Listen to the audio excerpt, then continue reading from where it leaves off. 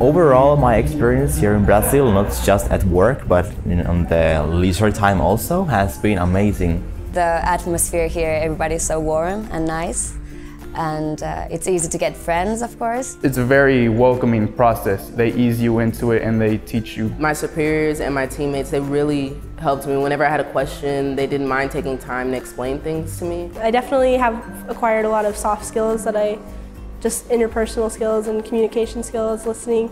But I think just coming to a foreign country and not speaking Portuguese and being able to get through the two months and do okay, I think that says a lot. I can say that I'm adaptable, that I can listen to people in another language, and that I can flourish. In the future, everything is about a global economy, and there's lots of companies in the US that work with companies outside of the US, obviously.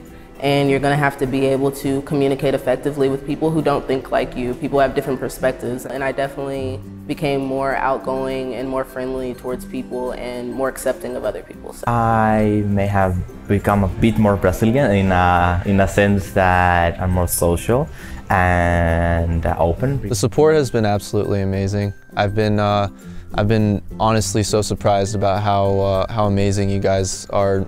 Such in close contact, email, Facebook, WhatsApp. I mean anything whatsoever, whatsoever.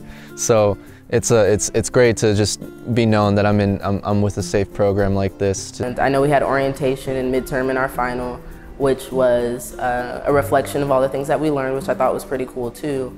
Um, y'all have definitely been here. Whenever we had questions and needed help, y'all y'all were able to provide that service for us. So I appreciate it. I know everybody else does. It was it was really great.